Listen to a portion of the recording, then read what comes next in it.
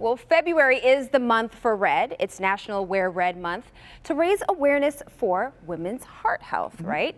And of course, it's Valentine's Day. But here to help us wear it well is Local 4 style editor John Jordan. Thank you for being here. My pleasure. I made this easy for myself. I just brought Friends with Trends. Ah, it's time to play Friends with Trends. I like this. Let's start with Jessie, the woman in red. Okay. Yes. So I'm feeling all of this. Yeah, she knows how to do red and you know make a statement, but you know it's ladylike. Tell us about your red story. Well, usually my palette is pretty neutral. I stick to the blacks and the taupes and the creams. Mm -hmm. But when I do pick a color, usually I end up with red. I think is strong and powerful. But I try to keep it simple. You know, you mm-hmm. notice that the skirt is not too short. Yeah. It's pretty simple. And I put a little fur jacket on for a little drama. I love it. Drama and zhuzh. Mm -hmm. I'm all about it. I we'll love it. for nighttime, but I love know. it. I'll walk around in the day, go to Starbucks with that on. not? And so next we have Leah, and Leah actually has a store, Leah's Closet in Royal Oak, and your color story is a statement. Yes, so I always encourage all of my customers in the store to not be afraid to max, uh, mix, um, you know, textures, different patterns, uh, unrelated colors, maybe that you wouldn't necessarily put together, the red and the cobalt blue. Mm -hmm. I've got on the 80s, 90s trend going Love on. It. Uh, the high-waisted pants. Yep. Love it. That, and it works. Blouse. Yeah. You, you just have to not be afraid of it. Right. Okay. And next to Leah, we have Rachel Lutz, who has a bazillion stores and counting. like, uh, like 17, seven continents. Yes. Um, so where's this from? And your color story is?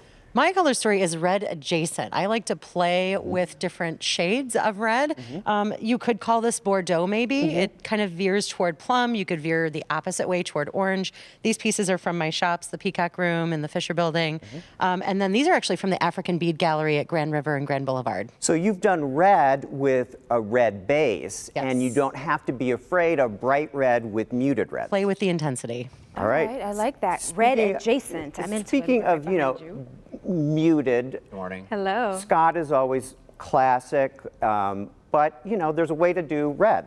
Yes, my style tends to be a little more understated, so I like to take red and just use small touches of it. Mm -hmm. As you can see, I put on this uh, kind of tropical pattern shirt. I just got back from the Caribbean, so I wanted to infuse that resort style.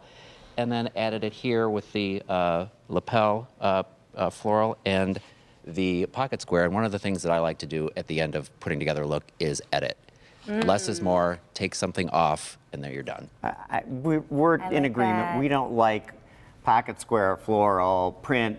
It's a little much. Coco one Chanel said that, right? Yes. Right before you walk out the door, yes, take off absolutely. one piece of accessory. Always edit. And Love it. Last but not least, we have Justin here, right. and Justin's. Um, entire look is from John Varvatos. Yes. I like it. Yes. And that t-shirt Nick Jonas wore to the Grammys. He did. Cool. So this is at our store right now. Um, and we have like a hoodie, there's a leather jacket, there's another um, linen t-shirt, okay. all teamed up with John Varvatos. And you I smell good shoes. too. Is oh, that cologne you. from John Varvatos Of course, too? has to be. These nice. shoes are amazing. Thank you. And I think the story here is that if you're afraid of bright red, muted. Muted, right? And at John Varvatos, we usually do more of like these crimson, like darker reds. Okay. So it's not this like bright red in your face. So it's just an easy way. I do a lot of black as well. This mm -hmm. is how I usually put my color on. I like it. Any guy can rock that. I like it. These are great ideas. And this is from Tumi. Ooh. And you know what's cool about this? If you're looking for something for Valentine's Day, it's collapsible. It, it's a backpack, but it goes right into this little. Oh, I love that. Yeah. So